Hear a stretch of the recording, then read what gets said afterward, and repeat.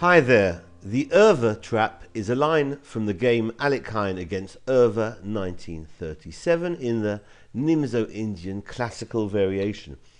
d4 and knight f6 the Indian, c4, e6, white plays knight c3, aiming to get e4 in on the next move, so that's prevented by the pin bishop b4, the Nimzo-Indian.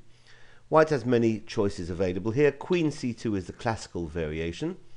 And in this position, the move d5 has been played by Kasparov, Kramnik, and Carlsen, even though castles and c5 seem to be a little bit more popular.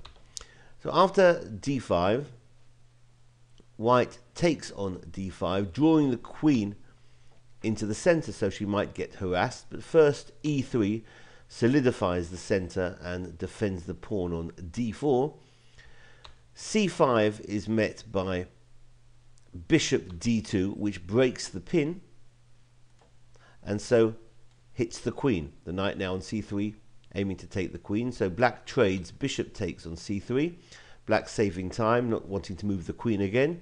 And the recapture by the bishop is thought to be the best and certainly the most popular, although b takes on c3 is around equal. So after black castles and now knight f3 in order that the bishop could move out so that the pawn on g2 isn't going to be targeted.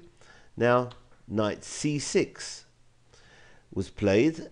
b6 was also possible. White now can play c4, hitting the queen.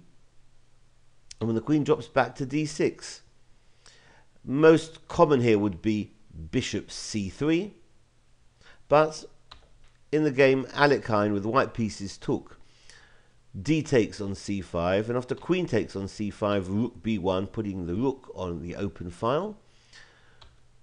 Black plays e5, a solid pawn in the center, and it helps to release the bishop along the diagonal from c8. And now bishop d3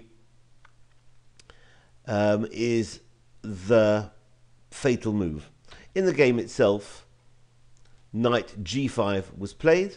Also possible here would be bishop c3 is fine or bishop e2. But this move, bishop d3, is the losing move and black can win now.